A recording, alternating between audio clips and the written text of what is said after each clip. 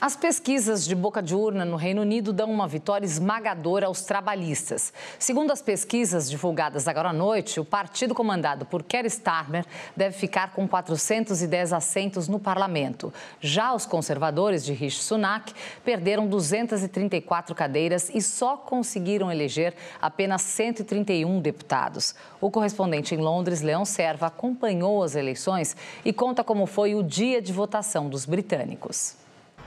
A eleição no Reino Unido começou cedo e terminou às 10 da noite, 18 horas no horário de Brasília. Assim, os eleitores tiveram tempo de votar, mesmo em um dia normal de trabalho. Embora seja uma das eleições mais disputadas das últimas décadas, um forasteiro mal notaria a campanha eleitoral. Não há cartazes e nem distribuição de santinhos. É quase como se a campanha se realizasse integralmente pelos meios de comunicação. Até os pontos de votação são discretos, difíceis de achar. Uns são pontos comerciais, outros centros comunitários.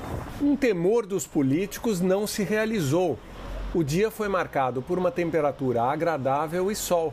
Como o voto não é obrigatório, muitas pessoas desistem de votar em dias de tempo ruim. E como a eleição caiu no meio de semana, tão poucos eleitores foram viajar a passeio tudo contribuiu para um grande comparecimento às urnas. O premier Rishi Sunak votou logo cedo com a mulher Akshata Murti em Yorkshire, no norte da Inglaterra.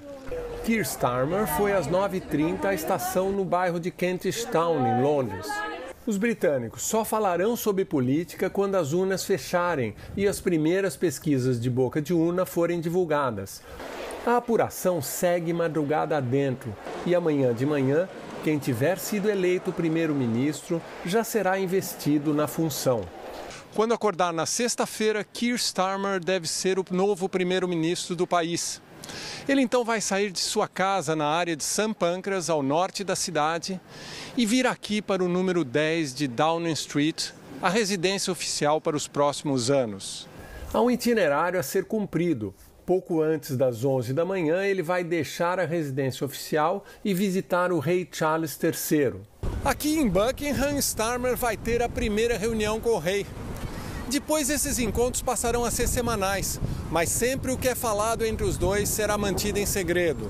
Convidado a formar o governo, ele volta para a casa oficial e começa suas articulações políticas. Na frente da casa de número 10, por volta do meio-dia, no mesmo lugar onde Rishi Sunak, sob chuva, anunciou as eleições, Starmer fará o primeiro pronunciamento à nação. De Londres, Leão Serva.